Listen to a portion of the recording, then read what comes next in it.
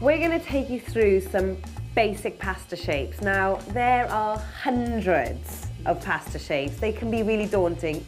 This is our guide to pasta shapes. We're going to talk you through some of the basic clusters and groups that go really great with certain sauces.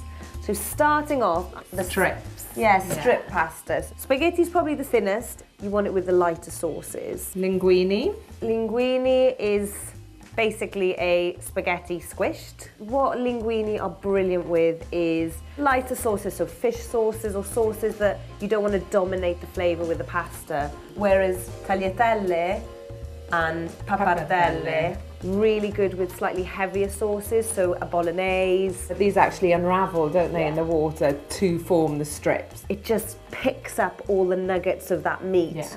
And that's why, actually, in Italy, they never serve you spaghetti with bolognese, which is completely ironic because in this country, that's the dish.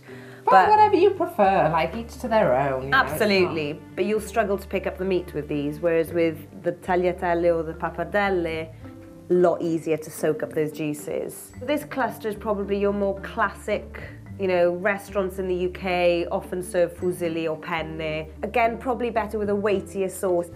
We use this with our tomato and capers and tuna sauce. And these ones here are rigatoni, which have a nice big hole for keeping any hidden bits of tuna or Meats. capers or whatever's in your sauce.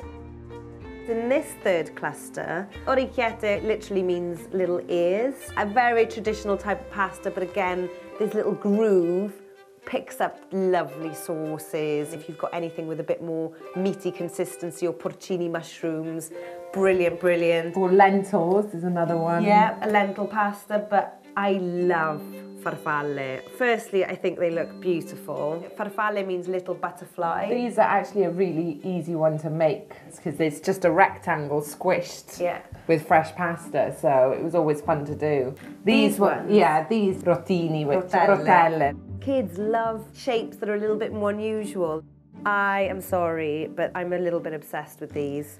And we're cheating a little bit here because I know we're talking about pasta sauces. This little cluster here, you wouldn't make a pasta sauce from, but you'd add them to soups and stews, and it just gives that little bit of a body to a soup or I'd say we were brought up eating brodo, which is chick- homemade chicken broth with any one of these inside, and parmigiano was our version of cheese on toast. Yeah. Essentially, it was baby food for us, but even as adults, students, we used to Yeah, live off this in university. These ones here, orzo. It does look a little bit like rice, but it is pasta.